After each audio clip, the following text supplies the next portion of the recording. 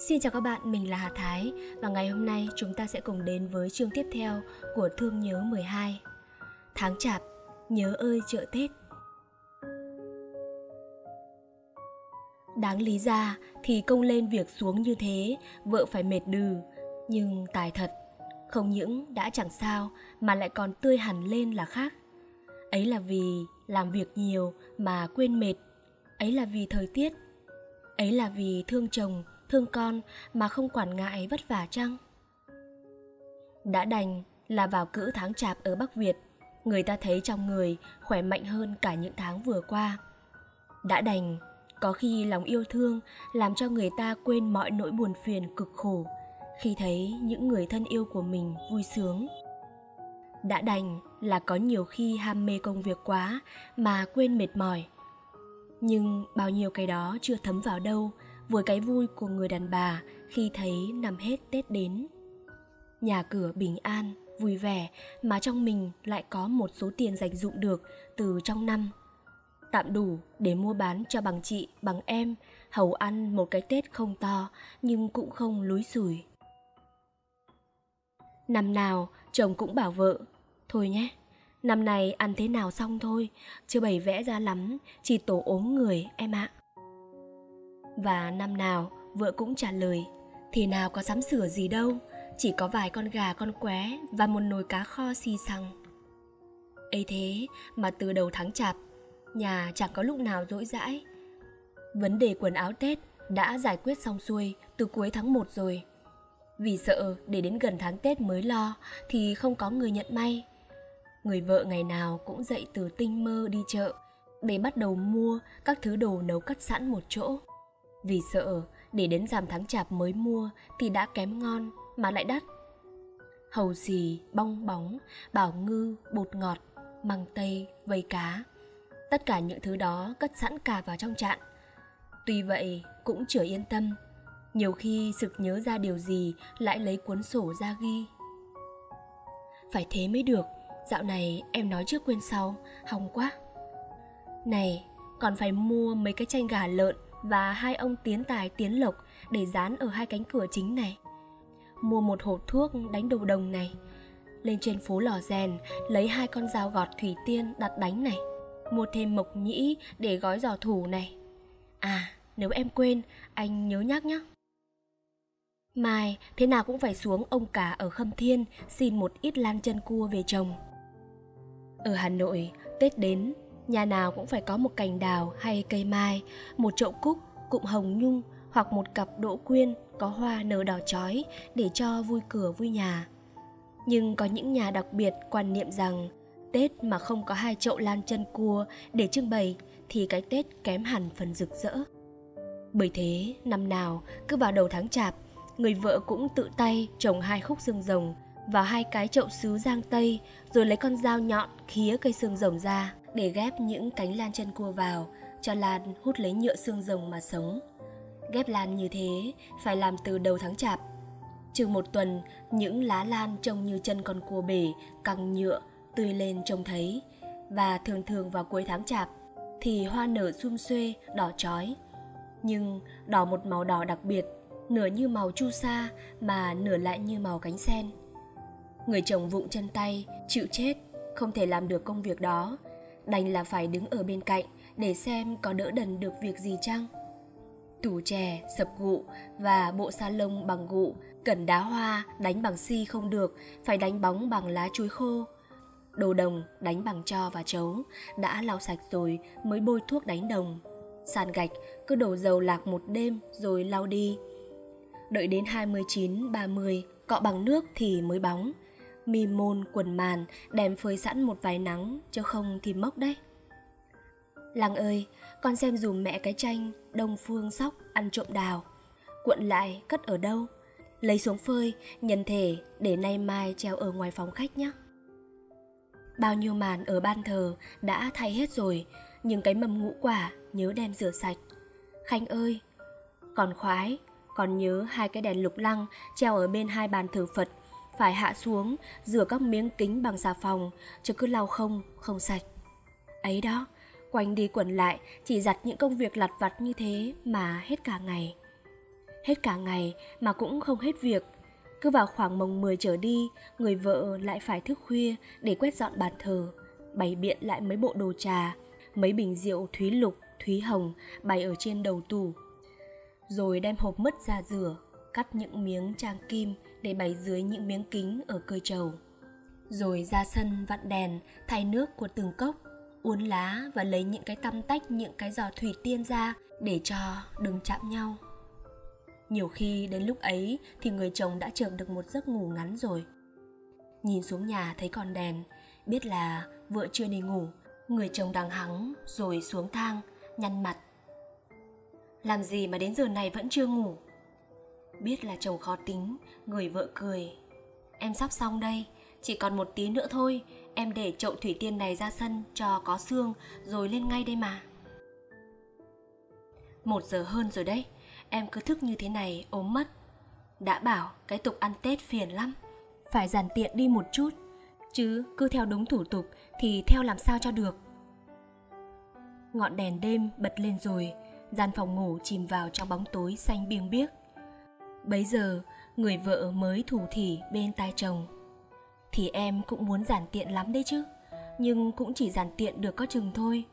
Tết mà không trang hoàng một tí cho vui cửa vui nhà và sắm sửa lệ bộ mỗi thứ một tí, lòng nó không yên anh ạ. Có lẽ là vì từ bao nhiêu đời nay, tổ tiên mình rồi đến ông cha mình tin tưởng, rồi đến mình đây tin tưởng là đất đai cũng như sinh vật ngừng hoạt động trong những ngày cuối năm lại bắt đầu sống lại với sự trở về sắp tới của khí ấm. Từ quan niệm đó, người ta vui mừng trông đợi lúc cây cối và muôn vật trở lại cuộc sống bình thường. Và ao ước, năm mới phải có một cái gì mới, một tiến bộ mới. Người nông dân ao ước sản xuất nhiều, người thị thành ao ước khôn ngoan hơn, giàu có hơn, trưởng thành hơn. Bao nhiêu thù oán xếp lại, tình đoàn kết được đề cao sự lo buồn lộn xộn quẳng đi một gió. Người ta thăm hỏi nhau, kiêng mắng chó chửi mèo, kiêng hốt rác, rồi chống nêu, vạch vôi vẽ cung tên. Chẳng qua, chỉ là để hy vọng năm sắp tới bản thân mình, gia đình mình, làng nước mình sẽ khôn ngoan hơn, khỏe mạnh hơn, sinh sản nhiều hơn. Người ta chúc mừng nhau, cầu trời khấn phật chỉ là để xin các sức huyền bí viện trợ cho mình. Sự hoàng đường mê tín thường phát xuất từ một nhu cầu thực tế. Không theo như thế thì không yên dạ. Không yên dạ vì sợ rông, vì sợ suối quẩy cả năm. Mà không yên dạ còn vì sợ việc này hay việc nọ trong năm sẽ không được bằng năm cũ.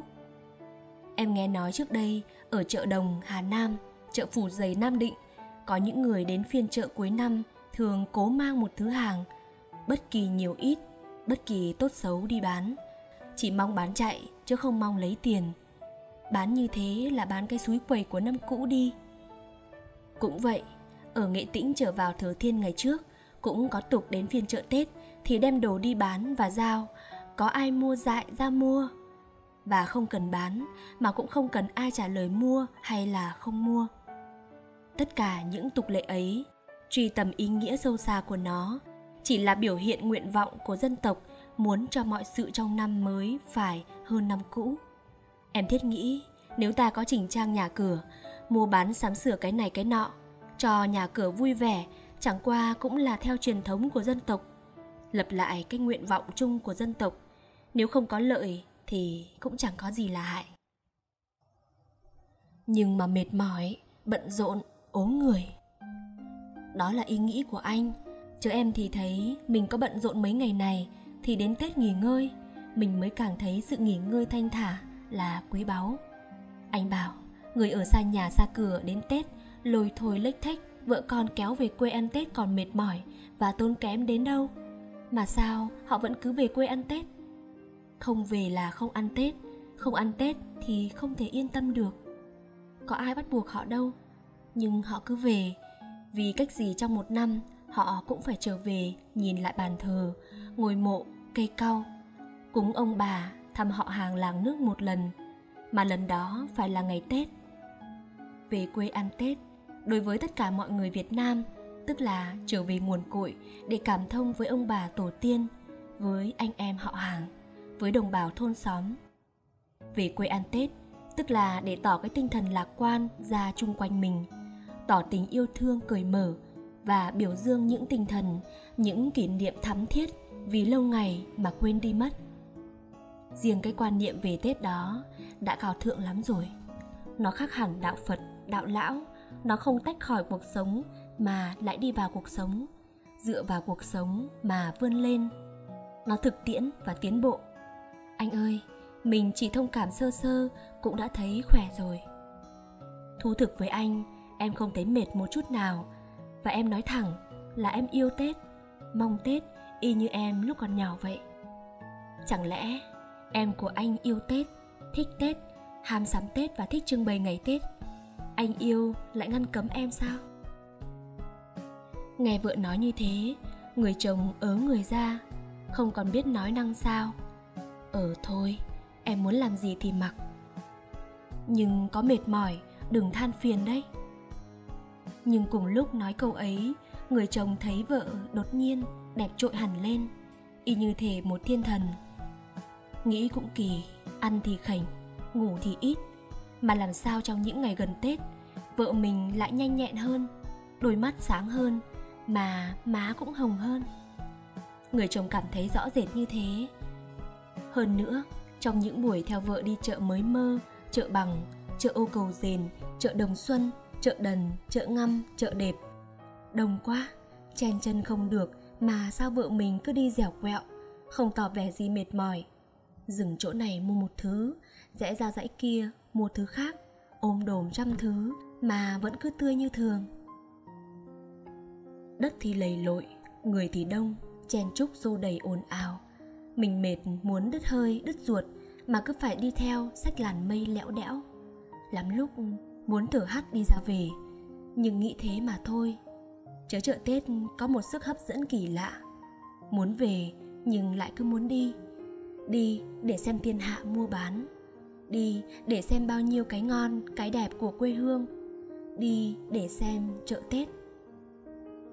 Họ vui vẻ kéo hàng trên cỏ biếc, những thằng cu áo đỏ chạy lon son. Vài cụ già chống gậy bước lom khom, cô yếm thắm che môi cười lặng lẽ. Thằng em bé nép đầu bên yếm mẹ, hai người thôn gánh chợ chạy đi đầu. Còn bò vàng ngộ nghĩnh đuổi theo sau, xương trắng đổ đầu cành như giọt sữa. Tia nắng tía nháy hoài trong ruộng lúa, núi uốn mình trong chiếc áo the xanh đồi thoa son nằm dưới ánh bình minh người mua bán ra vào đầy cổng chợ còn châu đứng vừa diêm hai mắt ngủ để lắng nghe người khách nói bô bô anh hàng tranh cữu kịt quấy đôi bồ tìm đến chỗ người đông ngồi dở bán. Mấy thầy khóa gò lưng trên gánh phản, tay mải nghiên hy hoáy viết thơ xuân. Cụ đồ nho dừng lại vuốt dầu cằm, miệng lẩm nhẩm, đọc vài hàng câu đối đỏ. Bà cụ lão bán hàng bên miếu cổ, nước thời gian gội tóc trắng phao phao. Chú hoa man đầu chít chiếc khăn nâu, ngồi xếp lại đống vàng trên mặt chiếu áo cụ lý bị người chen sau kéo, khăn trên đầu đương chít cũng tung ra. Lũ trẻ con mải ngắm bức tranh gà, quên cả chị bên đường đang đứng gọi. Mấy cô gái ôm nhau cười rũ rượi cạnh anh chàng bán pháo giữa cây đa. Những mẹt cam đỏ chói tựa son pha, thúng gạo nếp đong đầy như núi tuyết. Con gà trống màu thâm như cục tiết, một người mua cầm cẳng dốc lên xem chợ từng bừng như thế đến gần đêm. Không nhớ nhà thơ nào đã tả chợ tết như thế nhỉ? Mệt quá, anh ta cũng chẳng buồn nghĩ xem là ai nữa. Thì lúc ấy, vợ lại từ dãy hàng hoa quả, xách một cặp gà sống thiến bảo mình ngồi canh để đi mua thêm mấy chục cam sành nữa rồi về. Ngồi trên cái ghế thấp lè tè, làm một khói thuốc hãm với nước trà tươi nóng. Người chồng lại lim dim con mắt, qua làn khói thì thấy người lố nhố đi lại, y như trong một bức phim màu vậy. Cái yếm sồi của cô gái quê, khéo đa tình, lại đeo một cái bùa vàng. Một chiếc quần lá ống sớ của chàng trai, chống chiếc gậy tre, làm nổi bật cái áo tam giang của cô gái bán dừa. Ông thầy bói chít khăn nhiễu nước dưa, có nhìn thấy quái gì đâu, mà sao cứ nghền nghền trông vào những bức câu đối đỏ của ông đồ bán chữ. Đây là tiếng ới, đó nọ câu cười. Mấy ông lái trâu nói thứ tiếng gì mà nghe như tiếng phạ sang. Còn các bà bán cây, sao hôm nay ăn trầu tươi thế? Nhưng tất cả tất cả đều thua hai chị em cô hàng bán chiếu, cạp điều cười đã xinh ăn nói lại tình. Ô hay, sao chiếu chất cao gần nóc chợ mà mình lại thấy như có đóa hoa nở ở chung quanh. Thì ra, chợ tết có một sức hấp dẫn kỳ lạ thật. Nhìn vào cái gì mình cũng thấy đẹp, trông người nào mình cũng thấy tươi, thấy cái gì mình cũng muốn mua. Cái ống bương cắt chéo góc, ngày thường ai mà thèm để ý, ấy thế mà mình cũng muốn mua để về trồng mấy giò lan đồng tiền. Cái chút chít bằng đất già cái chết gì, ấy thế mà mình cũng muốn mua cho trẻ vì bây giờ ở phố phường không có bán, mà cả đến hai chị em cô bán chiếu nọ, mình cũng muốn mua luôn, đem về vì ngộ quá, y như thể một cặp búp bê nhật bản. Nhưng mà nghĩ một cách tội lỗi thế thôi, và chỉ tán lếu láo tí tí thôi, chứ đâu dám đi sâu quá. Phải chi đây là phiên chợ cưới, thì mình đâu có ngán. Phiên chợ cưới phiên chợ cưới ừ phải rồi nhớ lại lúc vợ chồng chưa lấy nhau, người chồng rộng cẳng thường vẫn bỏ nhà đi ăn tết lang thang. Có khi ở nhà con hát đàn, có khi ở một vùng quê, lại cũng có khi ở một vùng sơn cước. Anh ta nhớ, có một năm lên vùng tam đảo, chia tỉnh vĩnh yên với thái nguyên. Anh ta đã đi một phiên chợ đặc biệt của đồng bào người mán ở mấy tỉnh vĩnh yên, thái nguyên, tuyên quang, phú thọ. Phiên chợ cưới chợ cưới họp vào ngày 25 tháng chạp tại xã Tam Long, huyện Bình Xuyên, tỉnh Vĩnh Yên. Ở ngay cổng làng Tam Long, giữa cánh đồng, bên một con sông đào nhỏ, nước trong văn vắt. Từ 10 giờ sáng đến 5 giờ chiều, các trai gái hoặc là đi một mình hoặc là đi cùng với bà con thân thích. Kéo nhau tới chợ, nơi mà ngày thường mấy xã ở quanh vùng vẫn họp nhau buôn bán. Nhưng hôm nay thì một con cá, một lá rau cũng không có, vì đồng bào ở đây đã mua bán xong xuôi từ mấy hôm trước rồi. Hôm nay, trai gái ăn mặc chỉnh tề, đến đây là để giao duyên và tình tự với nhau. Có cặp thế sông hẹn núi, có đôi ước hẹn cùng một ngày vợ chồng vuông tròn. Lại có những tình nhân trao đổi cho những tình nhân những món quà kỷ niệm. Khe suối, bụi tre, đồi cây bờ ruộng, chứng kiến bao nhiêu mối tình thơ mộng, dường như cũng rung động một cách khác thường, tươi lên một cách khác thường. Những cái phá giặc sỡ, những cái khăn, những đồi hải xảo thêu xanh việt đỏ với bao nhiêu hoa tai bạc, vòng cổ bạc, vòng cổ vàng, vòng tay đen, vòng chân tím, giao hoan với mây ngàn trắng màu bạc cũ.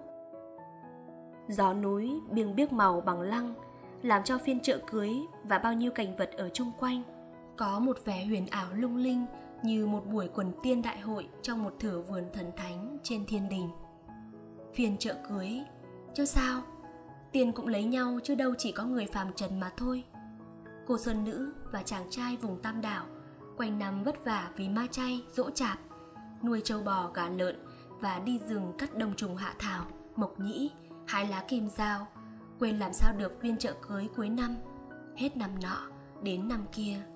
Bọn này thành vợ thành chồng thì bọn khác lại kế tiếp đi chợ cưới Tam Long để gắn bó keo sơn, kết nên những cuộc ân ái đẹp như trăng thu, trắng như tuyết núi. Thả hồn về chợ Tết ở Kinh, người chồng tiếc không biết bao nhiêu là cái đẹp đã qua và cảm thấy tức bực con người ở đây sao vất vả tấm thân vì nhiều thứ phù hoa quá. Năm hết Tết đến rồi, mình lì đến mấy đi nữa cũng cứ là thấy sốt ruột vì nhiều công việc chờ đợi quá. Hôm qua, vợ đã gióng lên là nhớ việc gì thì phải làm ngay, chứ để dồn lại đến ngày chót làm sao cho kịp. Lần này về, cách gì thì cũng phải lo gửi Tết. Mình là ngành thứ phải đem đồ lễ đến nhà gia trường, gà vịt, hoa quả, vàng hương. Những ngành trực thống phải gửi vàng hoa, còn những ngành khác thì phải dùng vàng hồ hoặc vàng lá. Vàng hồ là một thứ vàng gốm, một phần ba những thỏi vàng lớp trên làm bằng giấy bồi vàng, còn 2 phần 3 lớp dưới là những thoi bạc làm giấy bồi trắng có dính mặt kính, trang kim. Vàng hoa làm toàn bằng giấy màu vàng, cũng có dính mặt kính, trang kim như vàng hồ, nhưng nhiều hơn, tượng trưng cho vàng thoi. Do đó, mỗi nghìn vàng là một nghìn thoi nhỏ. Gửi Tết, nhà gia trường mà không có vàng, không được.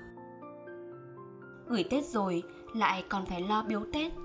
Bao nhiêu bạn bè thân thích xa gần buôn bán, giao thiệp với mình, làm ơn làm huệ cho mình, nhất thiết phải moi trí óc ra mà nhớ cho kỳ hết để đem đồ đến biếu biếu như thế không phải là đốt lót mà chỉ là để tỏ cái tinh thần thương yêu, cởi mở, thực thi quan niệm, thêm bạn bớt thù san bằng những mâu thuẫn, để cho người ta có dịp biểu thị những tình cảm, những ý niệm thắm thiết mà người ta không biểu thị được trong những ngày thường trong năm, mà phải làm ăn vất vả, đầu tắt mặt tối, không có thì giờ viếng thăm nhau, trò chuyện với nhau lâu. Xong được mấy công việc đó thì cũng đã đến rằm. 16 rồi. Đến cái ngày ấy Anh thấy thời giờ đi nhanh một cách tệ hại. Dù anh lơ là với Tết cách nào đi nữa Anh cũng cứ thấy tim anh rộn ràng lên. Anh không biết phải làm việc gì trước, việc gì sau. Và anh thấy rằng Mặc dù là bỏ giấc ngủ trưa Những ngày cuối năm ấy Quả là đi nhanh quá Nhanh như bóng câu qua cửa sổ. Cái danh từ rất sáo mà lúc nhỏ anh vẫn viết trong tờ Compliment. Đọc chúc mừng thầy giáo trong buổi học tất niên, viết trên một tờ giấy rất trắng, vẽ một bó hoa, buộc bằng một cái băng tam tài. Thì ra, mình trách vợ bận rộn về Tết, ốm cả người, mà chính mình từ giám tháng chạp trở đi cũng bận rộn, vất vả, y như vợ vậy. Cái việc mua giấy hồng điều rắc vàng để nhớ ông cả nam viết câu đối dán ở cột trước cửa và ngoài sân. Cả cái việc mua trầm để đốt lên bàn thờ. Cái việc đi chọn pháo công tường cát để đốt đêm giao thừa và ba ngày Tết. Nhất định mình không đảm trách thì không được. Cũng không được nếu sắm sửa Tết tạm tạm xong xuôi mà mình lại không cùng vợ đi thăm Tết gia tiên nội ngoại để viếng các cụ, đắp lại mộ các cụ và thắp nhang mời các cụ về ăn Tết với con cháu trong nhà. Trước đây, làng Đáp Cầu, huyện Võ Giàng, tỉnh Bắc Ninh, có cái lệ đi thăm mộ gia tiên hàng năm, ấn định vào ngày 30 tháng Chạp, nếu là tháng đủ, hay 29 nếu là tháng thiếu. Nhiều làng khác cũng theo như thế, nhưng sau này đời sống xô bồ có thay đổi đi chút ít. Người thành thị đi thăm mộ ông bà cha mẹ sớm hơn một chút có khi trước ngày ông táo lên trầu trời có khi sau vài ngày thực tình cái giống nhà văn nhà báo có lúc đáng yêu thật. Nhưng có một vài khi cũng làm cho đàn bà bực cả mình. Cái gì lại đem cả ông táo ra chế nhạo là đội mũ đi hia chẳng mặc quần. Cái gì lại đề nghị bỏ tục lễ ông táo mà cho như thế là dị đoan. Cái gì mà năm nào cũng nhạo ông Táo lập bô lên với trời về các việc xảy ra dưới trần. Muốn nói gì thì nói, người vợ đúng ngày 23 tháng chạp, cứ phải đủ lệ bộ lễ tiến ông Táo lên trời thì mới yên lòng.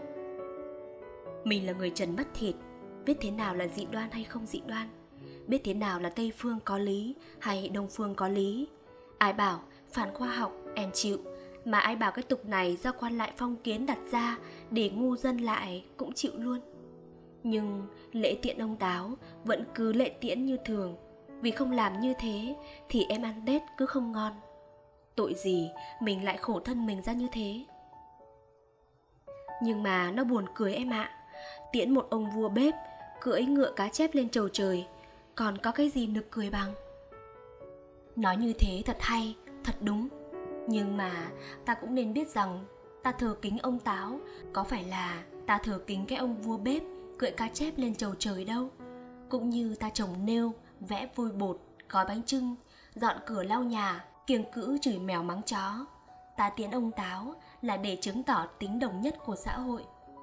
Vì biết ăn tết, tức là tầm mắt ta đã vượt được cái tổ chức thị tộc bộ lạc, chật hẹp, để sống với nhau rộng rãi hơn, trong sự đoàn kết của nhiều thị tộc bộ lạc thống nhất với nhau về quan niệm nghỉ lễ cũng như về thời gian đấy là lúc tổ chức gia đình đã có cơ chế thay thế cho tổ chức thị tộc sự thờ cúng của ông Táo và sự tiện đưa ông Táo lên trời hôm 23 tháng Chạp chứng tỏ rằng người mình lúc ấy đã tổ chức thành gia đình nhỏ.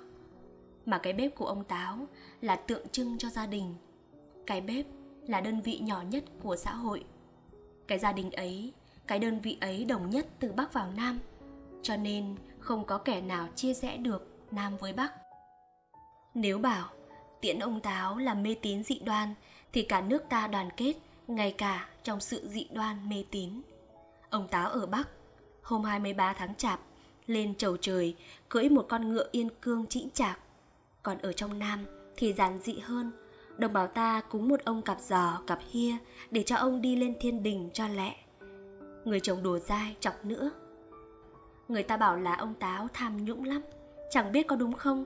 Ai mà lễ ông chu đáo, ông tôn tốt, ai không có thì ông truy. Đấy là nói đùa, nhưng nếu căn cứ truyền thuyết mà bàn thì ông Táo nếu ăn tiền có muốn tâu bậy cũng không thể được. Là vì lại theo thần thoại, các cụ ngày xưa chống tham nhũng triệt để chứ đâu có như bây giờ. Anh quên mất rồi ư? Tháng 10 ta có lễ song thập là ngày lễ gần cuối năm có tên là Hạ Nguyên. Đó là theo tục nhà Phật. Nhưng theo truyền thuyết thì ngày song thập, tức là ngày mùng 10 tháng 10, trên thiên đình, Ngọc Hoàng Thượng Đế sai một thứ thần là Tam Thanh xuống kinh lý trần gian để kết toán những điều lành hay dữ trong một năm qua để làm biên bản tâu lên Ngọc Hoàng minh xét.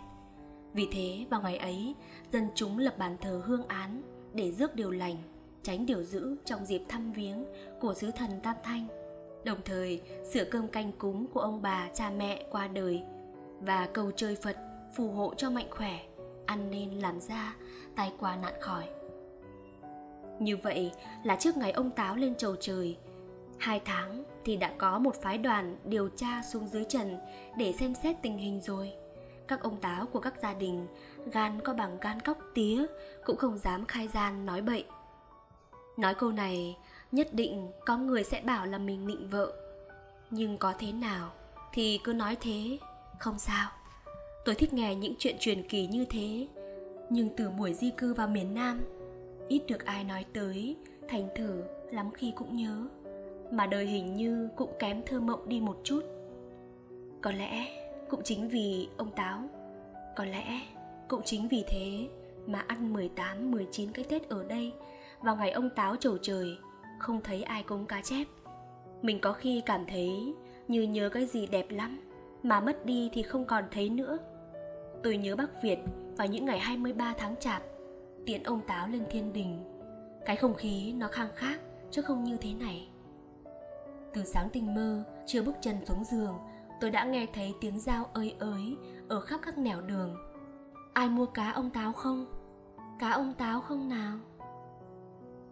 Nghe như thế, tự nhiên lòng mình bỗng nao nao, vì biết rằng có cá ông Táo là sắp đến Tết rồi, không thể nào nằm được nữa. Mình ra xem thì thấy những bà bán hàng gánh hai cái thúng sơn đi vắt vẻo đôi tay như chạy để bán vội cho hết hàng. Kẻo còn phải về sớm để sắm sửa tiện ông công lên trời tàu việc hàng năm của mỗi gia đình. Ông công, đó là thần trương đàn hay tự quách, chỉ phụ trách riêng về việc bếp núc, còn thổ địa trông nom việc nhà thổ kỳ, có nhiệm vụ coi về chợ búa và tăng gia sản xuất cho đàn bà. Thổ công, thổ địa, thổ kỳ là ba nhân vật trong truyện truyền kỳ hai ông một bà mà dân gian đều biết. Hai ông là trọng cao và phạm lang, còn một bà là thị nhi cùng chết trong một đống rơm.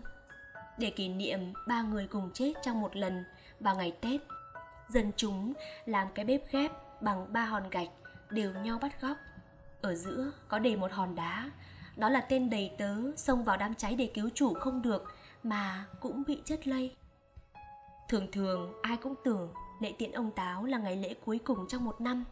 Thật ra sau đó hai ngày còn lễ tiễn ông vải lễ tạ trường và lễ tất niên. Trong lễ tiễn ông vải Người ta đem hết cả những chân nhang trong bát hương đốt quanh năm ra, đổ xuống sông hồ, hay đốt đi và thay cho khác vào bát hương. Nhân lúc con cháu còn dọn dẹp, bày biện lại bàn thờ, ông vải thừa dịp đi chơi vài ngày để chờ lễ giao thừa lại trở về ăn Tết với con cháu trong nhà. Ít lâu sau này, lễ tạ trường đã bỏ vì chữ Hán hết thời. Nhưng lễ tất niên thì vẫn giữ nguyên cò bay ngựa chạy từ đồng ruộng đến thị thành. Đúng ngày 30 tháng Chạp, dân chúng làm cỗ ăn mừng và gọi là cỗ tất niên. Ăn xong bữa cỗ này buổi sáng, đến 12 giờ đêm là lễ giao thừa, đánh dấu lúc hai năm mới cũ giao tiễn nhau, pháo nổ đi đùng, thiên hạ lũ lượt kéo nhau đi lễ đầu năm hái lộc. Em ở mình đây, trời nắng lắm, Sài Thành không biết có xuân sang. Xuân này xứ Bắc ra sao nhỉ, đào có hơi hay, cúc có vàng. Câu đối có còn ôm cột đỏ, nêu dài tiếng khánh có khua vang.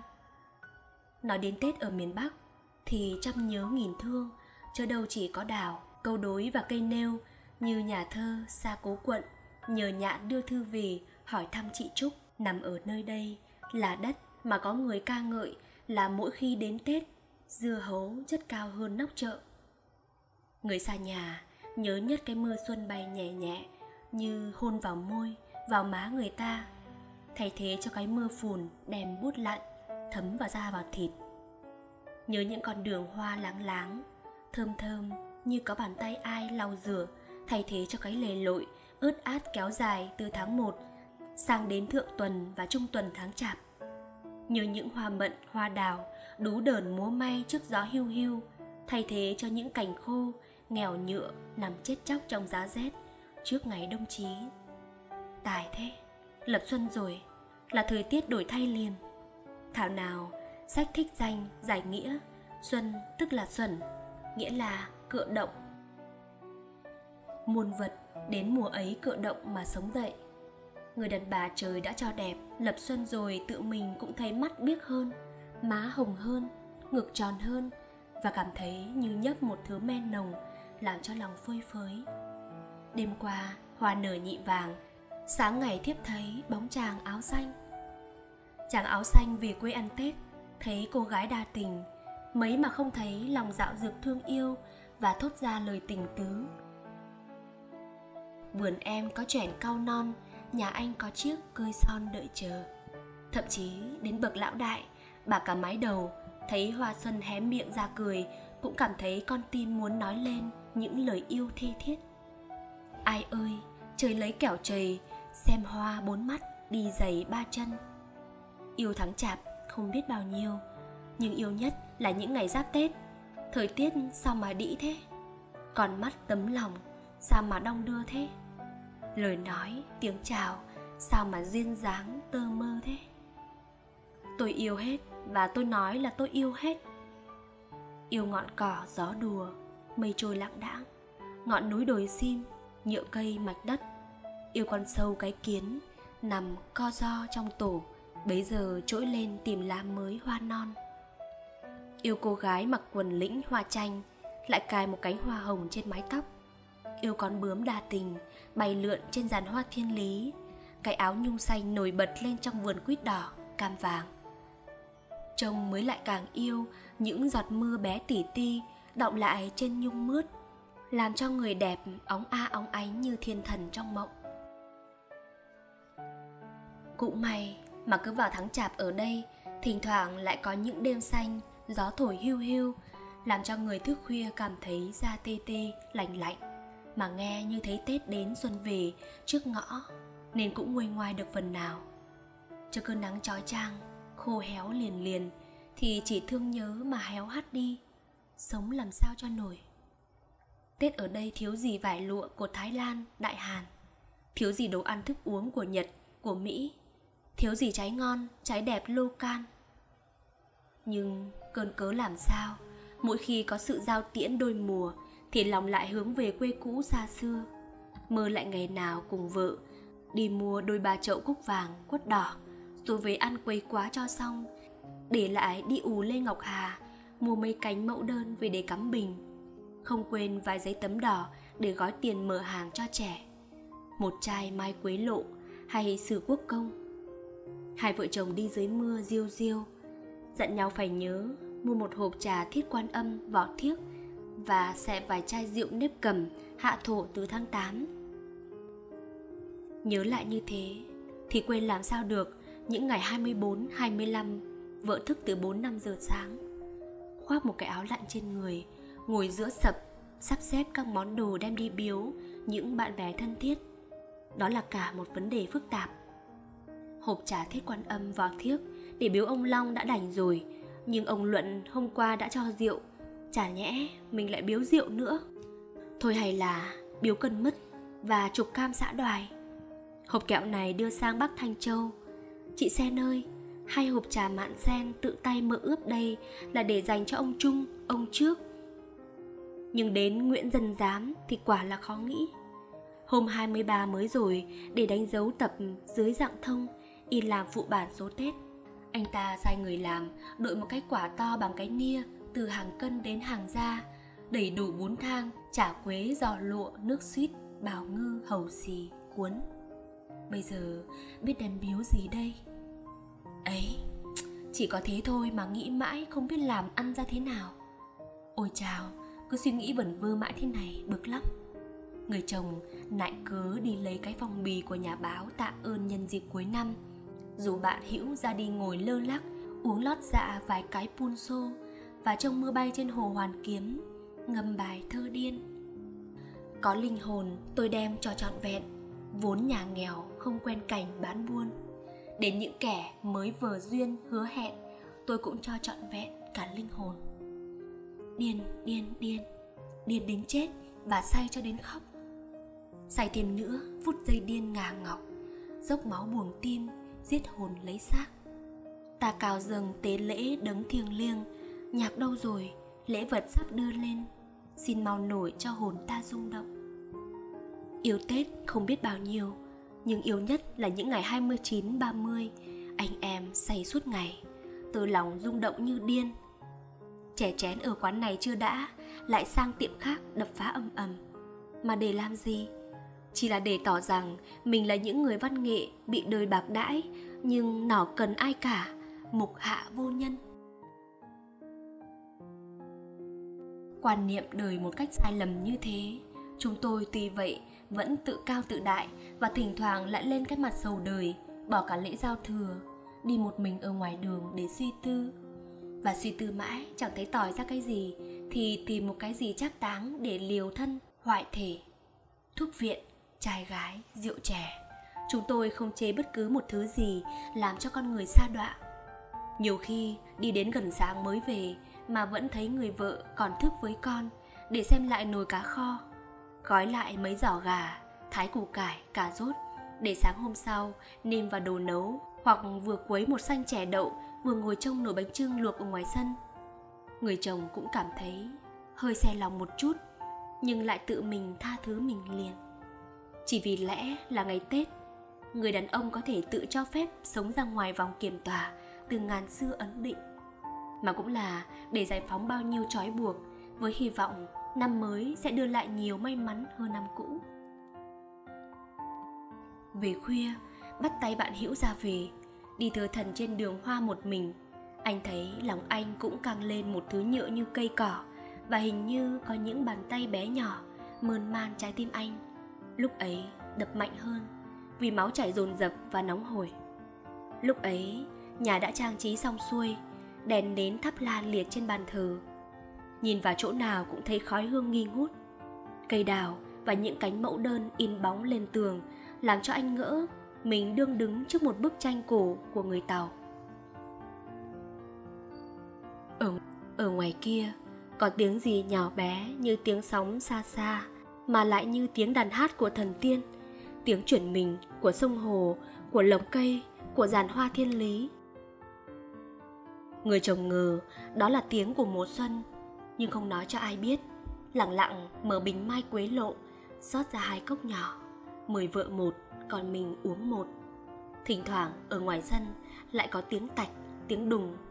Ấy là lúc các trẻ trong nhà bắt đầu đốt pháo một tung lên trời. Mùi thuốc pháo thơm thơm bay vào trong nhà, làm cho cả vợ cả chồng hơi ngột, nhưng ngột một cách du dương. Trong khi ấy, từ xa xa vọng lại, tiếng ống bương nện xuống đất đều đều, hòa với những tiếng hát trầm trầm, bồng bồng của những em đi xúc sắc xúc xẻ, ca ngợi sự hòa ấm của gia đình.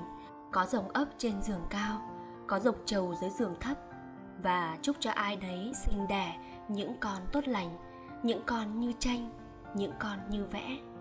Sống lâu 100 tuổi lẻ mà lại giàu có đề đa, có voi buộc trong tàu, có ngựa dỡn nhau trên cỏ.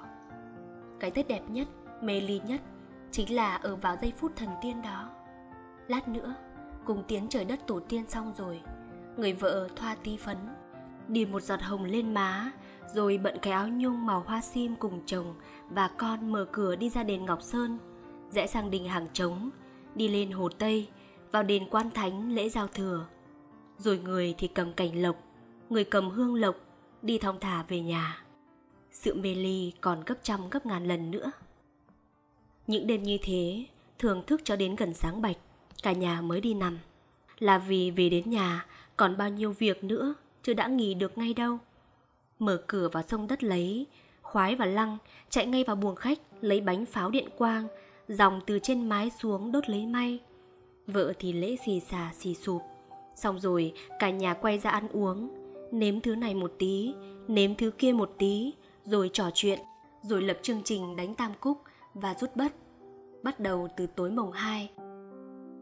Rồi chồng mở hàng cho vợ, vợ mở hàng cho con. Ôi, cứ thức đến sáng bạch cũng vẫn cứ được đi. Nhưng sợ là mai mệt nên 2-3 giờ sáng phải đi ngủ cả. Chẳng biết lũ trẻ đi nằm như thế thì có ngủ được không? Chứ người chồng mơ lại lúc mình còn nhỏ, nhớ mang máng rằng giấc ngủ đêm 30 Tết chập chờn không mấy khi ngon. Ấy là tại vào cái thổ thanh bình ấy, pháo đốt suốt cả đêm không ngớt một phút nào. Người đi lễ đông nườm nượp, lại thêm có những người có lẽ vì vui quá, cứ ngửa mặt lên trời, đi ngâm thơ bô bô ở ngoài đường. Ôi, những đêm giao thừa xa xôi, những đêm giao thừa cực lạc, đi không bao giờ trở lại. Ta chẳng còn thấy thần thánh xuống trần để vui cuộc đời trần tục. Ta chẳng còn thấy đức tin người lên trong ánh mắt của muôn người. Cố nhân ơi, cố nhân đem theo hết bao nhiêu hương vị đậm đà của kiếp sống, khiến cho những giao thừa còn lại chỉ là thừa mà thôi. Em ở mình đây, trời nắng lắm, Sài Thành không biết có xuân sang. Một đêm trăng khuyết đầy thương nhớ Đất Bắc xa vời không tiếng vang. Ôi, vườn dâu cũ ai cười đó Xào sạc bên sông tiếng chợ tàn. Mưa bay đầy ngõ hoa đào rụng Này đã giao thừa, pháo nổ gian. Ở phải, ở đây pháo cũng nổ giao thừa Nhưng còn đâu là bầu không khí dịu hiền của những ngày trước nữa. Bao nhiêu bè bạn giờ này đây đã về với gia đình. Người chồng cô Trích cảm thấy mình lẻ loi Xa vắng hơn cả bao giờ hết. Đi tha thần một mình trên các đường phố giới nghiêm Thỉnh thoảng lại có bóng một gã công an chìm Và cảnh sát cùng quân cảnh bảo vệ an ninh trong bóng tối. Xa xa, tiếng súng nổ như điên không đâu, năm nào đến Tết cũng ngừng bắn vài chục tiếng đồng hồ. Thử đạn thì nổ thay pháo chứ không phải là đánh nhau. Cứ yên tâm uống rượu và tán láo đừng có sợ. Chào ôi trời bời láo lếu như thế mình lại càng thấy yêu sài gòn không biết chừng nào. Có những nhà hàng mở cửa suốt đêm có những quán cà phê bày bàn ghế ra hè. Nhiều gái chơi bời ngồi đợi khách hơn là khách vào uống rượu lại cũng có những phòng trà có ca nhạc 2-3 giờ sáng mà vẫn có người nghe kỳ chưa thế thì Họ không lễ giao thừa à? Họ không kiêng cữ gì à? Họ không cần biết sông đất là gì à? Họ khoa học như Mỹ, không tin dị đoan chăng? Hay là khói lửa và sự chật vật trong cuộc sống đã làm lệch lạc đầu óc họ?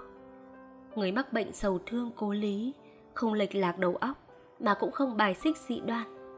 Ngồi ở đầu ngọn gió lạnh giao mùa, nhìn hàng tiếng đồng hồ vào trong bóng đêm tối 30, không nói không rằng đứng dậy trả tiền, đi thong thả trên đường vắng ngắt. Đêm Sài Gòn sáng lắm. Nhưng đêm 30 tháng chạp thì ngừng lên trời làm sao thấy được mây luân lạc.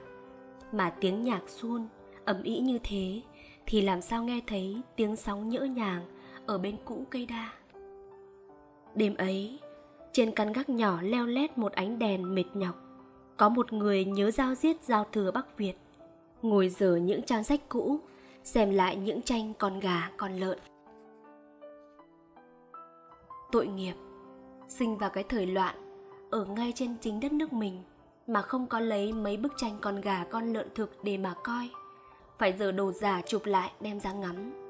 Tự nhiên anh cảm thấy có một cái gì làm cho da rẻ tê tê gờn gợn lạnh. Đã mấy chục năm nay anh ta không còn được trông thấy những bức tranh gà lợn thực đưa lên mũi người mùi giấy, mùi mực, mùi màu thực của những bức tranh ấy nữa. Đêm nay, tiếng pháo, nghe tiếng pháo của nhà ai nổ vang ở chung quanh.